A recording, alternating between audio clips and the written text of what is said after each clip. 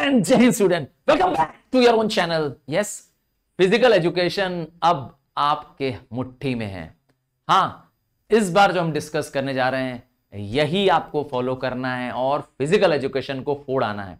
आपके almost major chapters हमने explain कर दिए हैं और एक एक और वीडियो फ़िज़िकल एजुकेशन में पास होने की गारंटी भी हम ला रहे हैं, जिसको आप करने के बाद यस सुपरबली स्कोर कर पाएँगे। साल भर अगर फ़िज़िकल एजुकेशन नहीं पढ़ा है तो बस ये पढ़ लीजिएगा।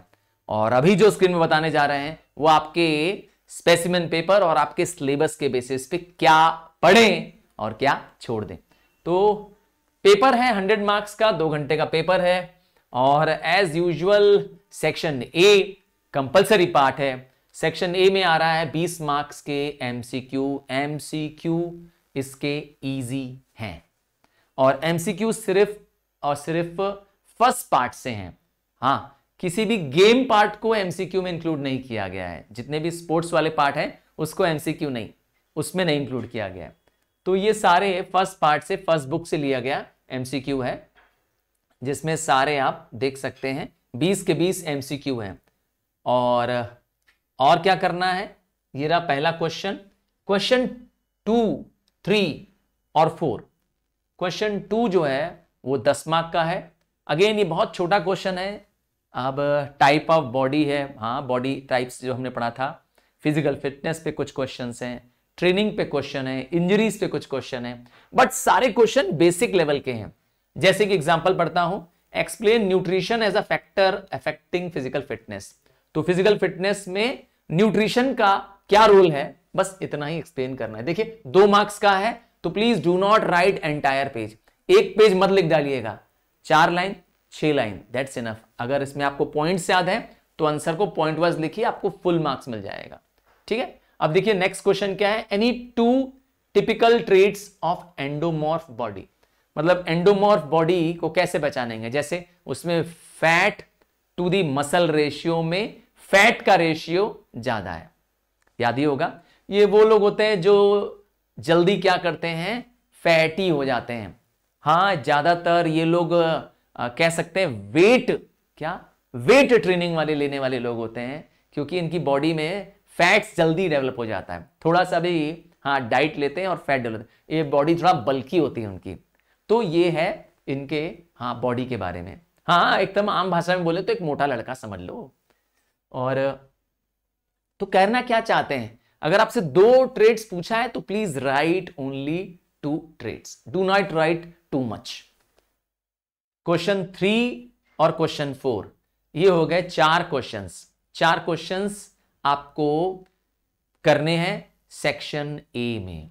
अब जब चार क्वेश्चंस कर रहे हैं तो ये सेक्शन ए में पहला क्वेश्चन था आपका 20 मार्क का, जो कि एमसीक्यू था. दूसरा, तीसरा और चौथा क्वेश्चन 10 10 मार्क का है. तो आपने मेजर 50 मार्क तो आपने यहीं कंट्रोल कर लिए। बाकी बचा 50 मार्क अब सेक्शन बी में आपको क्या करना है? सेक्शन बी में आपको किसी दो गेम में से एक एक क्वेश्चन करना है। दो गेम्स करने हैं और हर गेम में से एक ही क्वेश्चन करना है। आप सेलेक्ट कर सकते हैं क्रिकेट फॉर एग्ज़ाम्पल देखिए क्रिकेट का क्वेश्चन नंबर फाइव है। क्वेश्चन नंबर फाइव में आप देखिए एट मार्क्स का नाइन मार्क्स का अगेन एट मार्क्स का। दैट मीन्स एट और एट सिक्सटीन सिक्सटीन और नाइन सिक्सटीन एंड नाइन कितना हो गया? ट्वेंटी फाइव मार्क्स और आप देखिए सेक्शन ए में आपके पास क्रिकेट का एक और क्वेश्चन है। अगेन ये भी क्या है आपके लिए? ट्वेंटी फाइव मार्क का है। तो कोई एक क्वेश्चन करना है क्रिकेट से।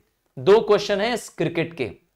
फाइव और सिक्स वैसे मेरी तो सलाह यही होगी कि क्रिकेट एक कॉमन गेम है जो ज़्यादातर आपको पता भी है। कुछ नहीं तो कुछ तो लिख ही पाओगे। क्या? कुछ नहीं तो कुछ तो लिख ही दोगे, क्योंकि क्रिकेट हर घर में देखा जाता है, हर फैमिली देखती है। तो मुझे लगता है इसका एक क्वेश्चन तो आपको करना ही करना चाहिए। हाँ मुझसे अगर पूछ रहे हैं चॉइस पूछ रहे हैं तो। दूसरा गेम दूसरा गेम फुटबॉल है। अगेन फुटबॉल में दो क्वेश्चन है, पर करना आपको कितना है? एक। तो 25 और 25 50 मार्क आपके लिए सेक्शन बी में है। और 50 मार्क आपके सेक्शन ए में है।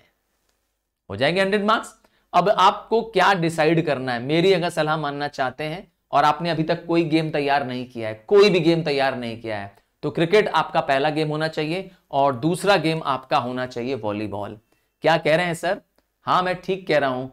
दूसरा गेम आपका वॉलीबॉल या इवन बास्केटबॉल होना चाहिए। सर ये क्यों कह रहे हैं? क्योंकि ये दोनों गेम्स में कंटेंट कम है। सही कह रहा हूँ।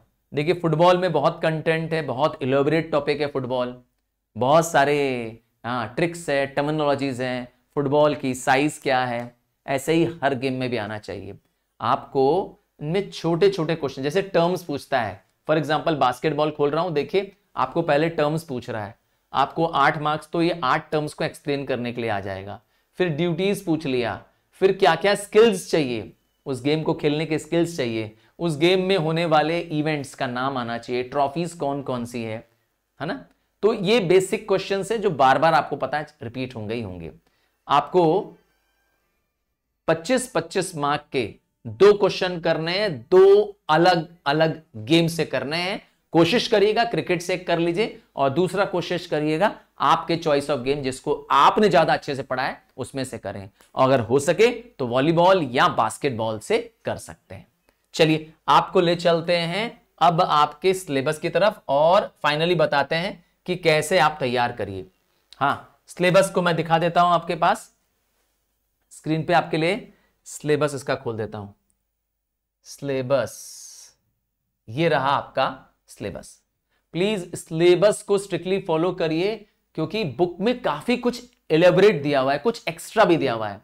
तो please do not go beyond the syllabus जैसे आप इसमें देखेंगे तो आपको इसमें सिर्फ़ क्या पूछा है, कितने फैक्टर्स पूछे हैं?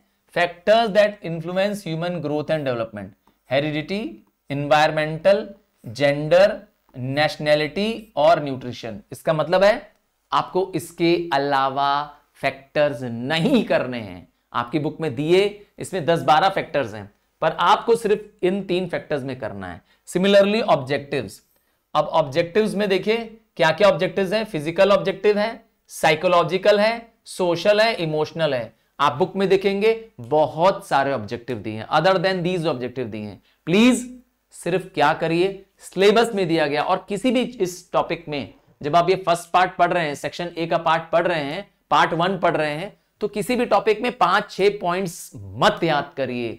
मैक्सिमम तीन पॉइंट याद करिए। भले उसमें दस पॉइंट ही क्यों ना दिया हो। आपको तैयार कितना करना है? सिर्फ़ तीन पॉइंट करना है। और सारे चैप्टर्स को, सारे चैप्टर्स को एमसीक्यू के नज़र से ध्यान दीजिए, क्योंकि 20 नंबर आपको एमसीक्यू में भी आ रहे हैं। ठीक है? और बेसिक टर्म्स में बेसिक टर्मोलॉजी पे ज़्यादा फोकस करिए।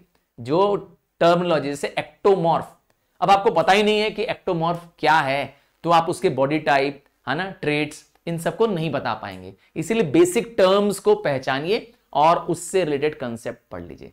रटने की कोशिश मत करिए, क्योंकि आप स्वयं फ़िज़िकल अगर एजुकेशन पढ़ रहे हैं तो आपके चारों तरफ़ यस चारों तरफ़ आपको ये सिखाया जा रहा था कि योगा करो एक्सरसाइज करो ब्रीदिंग करो रनिंग करो। तो फ़िज़िकल फिटनेस तो हर जगह है है ना? तो ये बेसिक कंसेप्ट को दिमाग में रखते हुए तैयार करना है।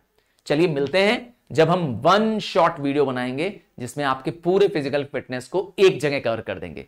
Bye from now